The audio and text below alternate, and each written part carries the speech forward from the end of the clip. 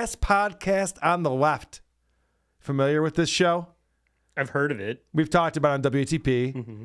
I think I've maybe covered it also on Who Are These Creepos on the Creep Off. It's a big true crime show. I think they, they got a big deal. Maybe Spotify. They're on one of these networks. They got a big deal. So it's hard to find these days, but they make a lot of money. They're doing very well.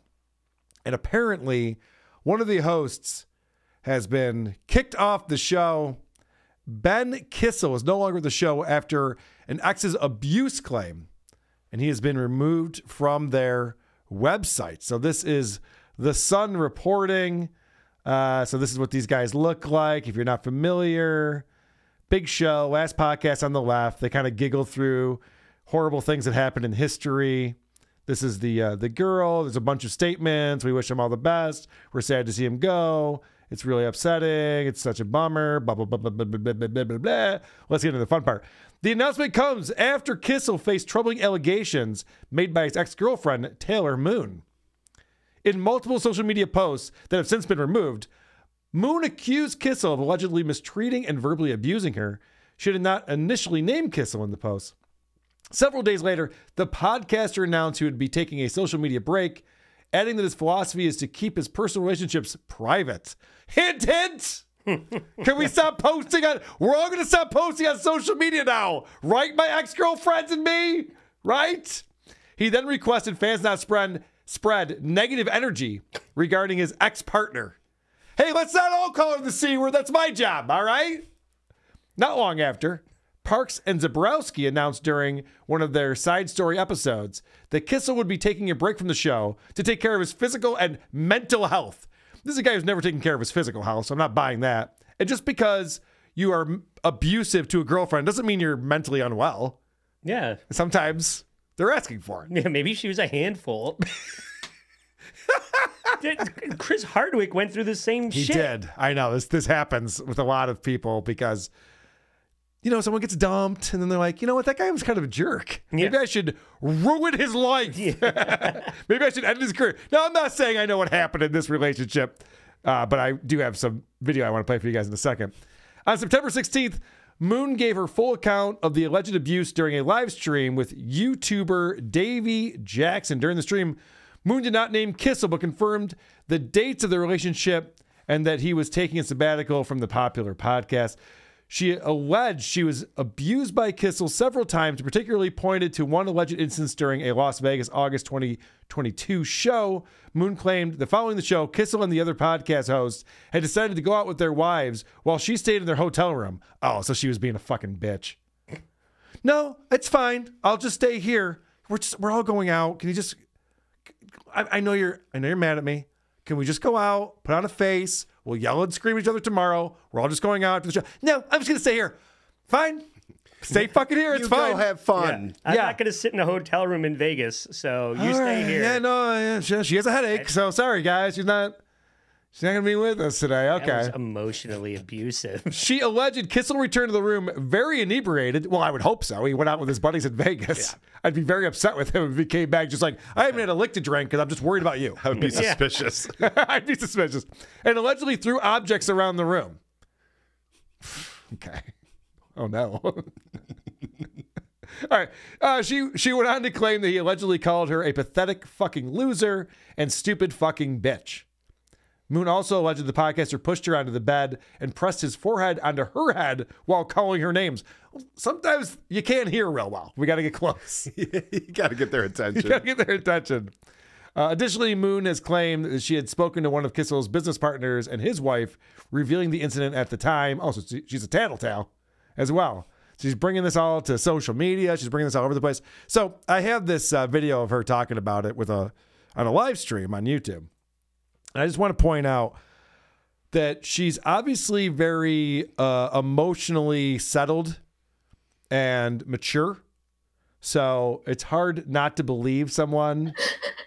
Head sink halfway in the mattress. Hold on, let me get back to the beginning. Unsettling allegations that have circulated in the This is from the podcast world recently and swept across social media. And at the center of all the controversy is my friend Taylor and her previous relationship with a celebrity podcaster. Taylor's here tonight to tell her side of the story. Taylor, thank you so much for joining me tonight. Hi. Hi. How are you doing? I'm sorry. I tried. I told myself earlier not even to do that. You're good. I know this is going to be tough to talk about, um, but uh, I know that there are a lot of people that are supporting you right now and and want to hear your side of of this story. So Yeah. I, I really appreciate Get your you shit being here. together. Let's let's talk about it. I, and and Taylor, we we debated a lot about whether even to talk about this, right? Because it is it is a difficult topic. Um, Yes. But in the end, decided that that your story needs to be heard. In the end, I convinced you because I want to get all the views for my channel. So I thought this would be very helpful. Do you think those lips are natural? Oh yeah. Those DSLs? Yeah. Um, Yeah. You can't On- on get a written carp. out of this story. Um, yes. um, so after everything that I have seen about when okay, so I thought long and hard about what to choose, what All right, let's get to the fun part. So she's already emotionally unstable, and a little while in, she's having a, a real hard time with this. She's very upset. the upset. reason I said those those words in that post were because those were He called you a stupid bitch. Get over it. I'm not a bitch. I get it. Yeah, look how when he would get that drunk. Uh, he What the fuck? always Turning into a Tourette's girl. Fuck your mom. Cunt he nuggets. would Wind it up.